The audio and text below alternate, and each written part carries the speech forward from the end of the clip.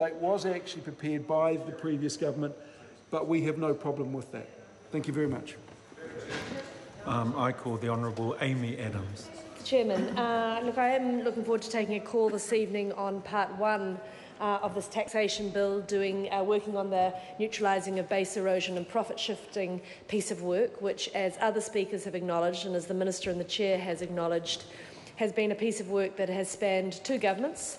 Uh, but more importantly than that, actually, it's a piece of work that has international impetus uh, and is really New Zealand's response to the OECD piece of work looking at how New Zealand's rules need to be uh, amended and adopted in concert with the rest of the world so that we stop uh, the actions of a number of multinationals who look to, to game relative tax jurisdictions for, for tax advantage. And, and what we see most commonly, of course, is uh, using inter-party related transactions uh, offshore to, to move money effectively to a tax jurisdiction that's more efficient for them uh, and to artificially uh, play with where they would otherwise have a place of operation. And uh, the work of the Finance and Expenditure Committee on this piece of work has been very good, has been very constructive, as you would expect with a bill like this uh, that has cross-party support and its, its broad uh, its broad parameters. I uh, came into the consideration of the bill partway through, and so it's certainly been very interesting to hear the contributions from my colleagues uh, Paul Goldsmith and Andrew Bayly and David Carter and others who are still to speak. Uh, I want to thank the Minister for making genuine uh, attempts to address the questions that are raised, and that's certainly, no, and I mean that very genuinely. I wasn't trying to have a dig, Mr Nash, that it is very helpful when we see a Minister in the chair who is clearly keeping uh, track of the questions that are asked and trying to address them. Uh, and I think Mr Nash will take some, uh, some comfort in the fact that, you know, similarly on this side of the House, we want to see this legislation simply in as good a shape it can be. And it has started as our legislation. It's now yours, but, but there is a, I'm not yours, Mr Speaker, Mr Chairman, of course. Uh, but there is a genuine interest in making sure we have it right. The, the part of the bill that I wanted to focus on in this uh, first call is around uh, another aspect of the transfer pricing rules. And Mr Carter uh, obviously just made some comments around the grandparenting uh, arrangements that are part of that and also the, uh, the operation of the advanced uh, pricing arrangements. Uh, the piece that I particularly wanted to talk about is the change that the Select Committee was quite interested in, and I personally had quite a lot of interest in, which was around the time bar for bringing actions under the transfer pricing mechanisms. And, and you know, for the, for the hundreds of thousands of people who I'm sure are listening away at home, uh, you know, what we're talking about here is, is, is exactly the situation I described earlier, where related parties are using the ability to set the cost uh, of arrangements between them in a way that effectively allows them to move profits offshore. So that might be, obviously, it could be a debt instrument, which is the most obvious one where interest rates are set, but equally it can be things like management fees between related parties, it can be royalties arrangements, uh, there can be any number of ways in which this is done. And the IRD, of course, have a very genuine interest in making sure that there is adequate time uh, for them to understand and drill into what are very complex uh, arrangements between very highly uh, lawyered up, to use a technical term, uh, firms who have access to a wide range of account uh, accountancy advice and legal advice to help them uh, make these transactions look as legitimate as possible. And we all acknowledge that there's quite a piece of work in that. No one is, by any stretch of the imagination, suggesting that that is an easier and un uncomplex piece of work and that they are not dealing with some very, very able and adept and well-resourced combatants. So there's no question, uh, I think, between us on the, uh, the nature of the mischiefs to be solved. So where we started, transfer pricing arrangements have been in place in New Zealand, obviously, before this legislation. In this legislation, we're making some tweaks around the, uh, the way they apply to when a number of foreign investors work together as a controlling block to control a New Zealand company, all of which is very sensible, subject to the comments my colleagues have made.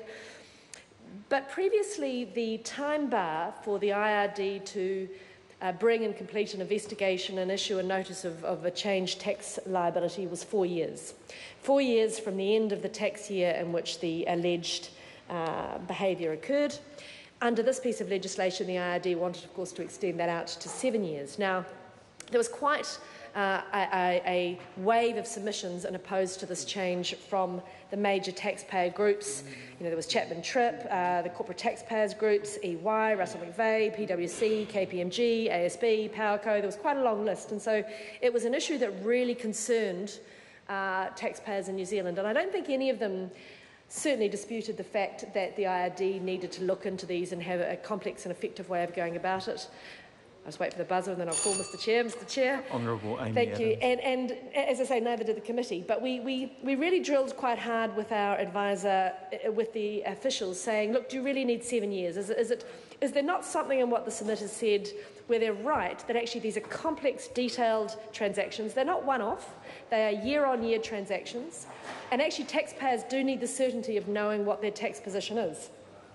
The position that the committee got to was that uh, was a bit of a hybrid. We, we, we, we took the officials at their, uh, at their word that four years wasn't going to be long enough for those taxpayers who are, who are playing a bit of cat and mouse and not being as forthcoming as they could. And we certainly don't want people to be able to avoid IRD scrutiny through being non-compliant.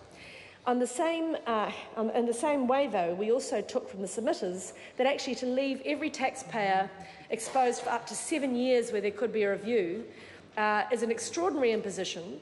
It doesn't provide the sort of certainty that taxpayers want, and it puts a huge amount more cost and complexity into both the prosecution of the behaviour but also the defence of it. So, where the Select Committee got to was to say that the IRD uh, should be able to extend to seven years only if they have uh, commenced an investigation during the four years and notified the taxpayer that it would be seven. You know, we can argue whether that was the right balance, but that's where the committee got, and, and I'm comfortable with that. Where I'm concerned, though, Mr Nash, is that the way the bill has actually landed in front of the House, and I'll refer you to page 57 of the bill, at the bottom of page 57, uh, where clause 36.4 provides the assessment. It doesn't actually do what the Select Committee thought it was doing, and it certainly doesn't do what the Select Committee commentary says it is doing. The Select Committee commentary makes it quite clear that the Select Committee wanted the change to say that the time period could only be extended if an investigation had been commenced and the taxpayers were notified. The change in the bill in clause uh, 36.4 at the bottom of page 57 simply requires the IRD to notify that they're extending the time. Now, that's not what the Select Committee agreed at all. The Select Committee did not sign up for a situation in which the IRD could potentially, under this legislation, serve as a matter of course on every taxpayer and notice that they're extending the time period and it automatically becomes seven years. We went through this in quite some detail and in a very co collegial and bipartisan way to try and get that right balance between fairness to the officials and fairness to the taxpayers.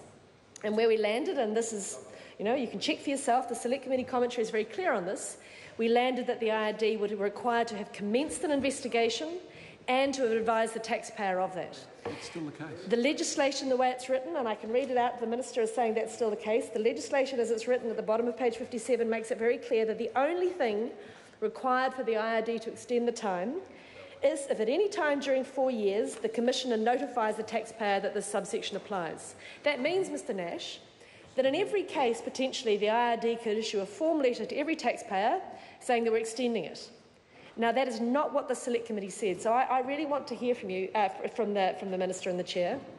He's just indicated verbally that that's still the case.